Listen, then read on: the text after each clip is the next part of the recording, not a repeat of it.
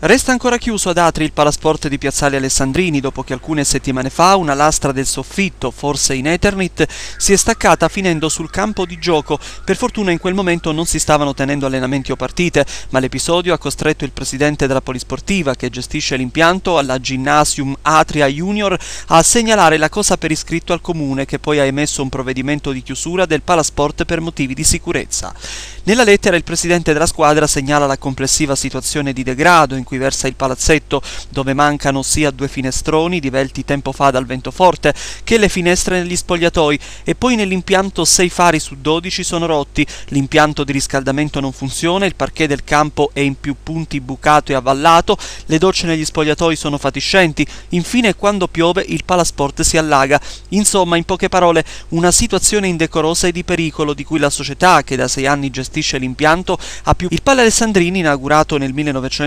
1985, non è mai stato a norma e non è accatastato, ammette l'assessore comunale agli impianti sportivi Umberto Italiani. Negli anni le varie amministrazioni comunali, incluse la nostra, hanno firmato ordinanze in deroga per consentire l'utilizzo dell'impianto, che però ha problemi ed è molto usurato. Verificheremo poi affermato con i tecnici del comune se ci sono le condizioni per metterlo a norma con una spesa non eccessiva, ma il futuro dell'impianto, come dire, è segnato. Circa la lastra che si è staccata dal soffitto, al momento l'assessore Umberto Italiani non sa spiegare di che materiale è fatto, si sa solo che in mancanza di quest'ultimo ora le squadre si stanno allenando nella tenostruttura del centro turistico e stanno giocando le partite di campionato nel palasport dello stesso centro, due impianti che assicura l'assessore Italiani sono perfettamente a norma.